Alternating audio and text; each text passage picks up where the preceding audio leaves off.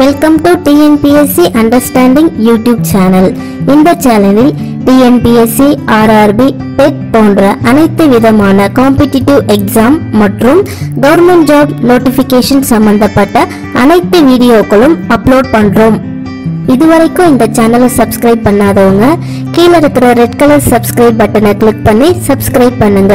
நான் போடுற எல்லா வீடியோக்களும் உங்களுக்கு நோட்டிஃபை ஆகணும்னா பக்கத்தில் இருக்கிற பெல் பட்டனை கிளிக் பண்ணுங்க.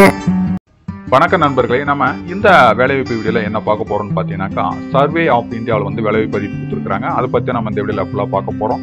அதற்கு முன்னாடி நண்பர்களே இதுவரை நமது சேனலை நீங்க சப்ஸ்கிரைப் பண்ணலாம் சப்ஸ்கிரைப் பண்ணுங்க. கூடவே பெல் பட்டனையும் தவறாம கிளிக் பண்ணுங்க. உங்களுக்கு தெரிந்த நண்பர்களுக்கும் இந்த வீடியோவை ஷேர் பண்ணுங்க. ஓகே ஃப்ரெண்ட்ஸ் வாங்க நம்ம வீடியோக்குள்ள போகலாம். என்ன போஸ்டிங் வந்து கேட்டிருக்காங்க அப்படின்னு பார்த்தீங்கன்னாக்கா மோட்டார் டிரைவர் கம் மெக்கானிக் எத்தனை வேகன்சி பார்த்தீங்கன்னாக்கா எட்டு.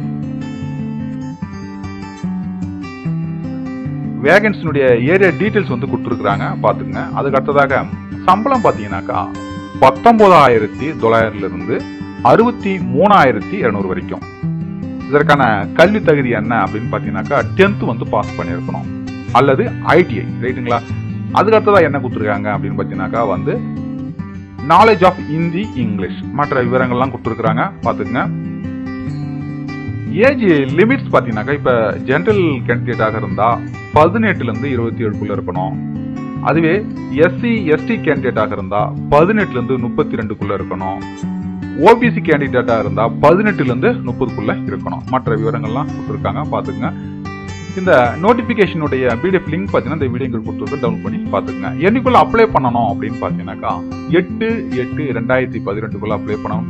ஓகே ஃப்ரெண்ட்ஸ் இந்த வீடியோ உங்களுக்கு பிடித்திருந்தா லைக் பண்ணுங்க கமெண்ட் பண்ணுங்க ஷேர் பண்ணுங்க. மேலும் இது போன்ற தகவல்களை பெற நம்ம சேனலை சப்ஸ்கிரைப் பண்ண மறந்துடாதீங்க. மீண்டும் நம்ம அடுத்த வேலையை சந்திப்போம். நன்றி வணக்கம்.